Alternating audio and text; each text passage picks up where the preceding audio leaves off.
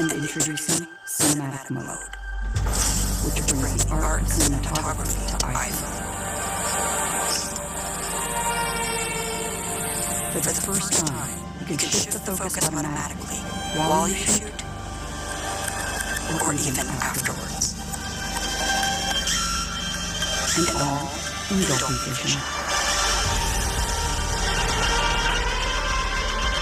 This is a Retina XDR display. With using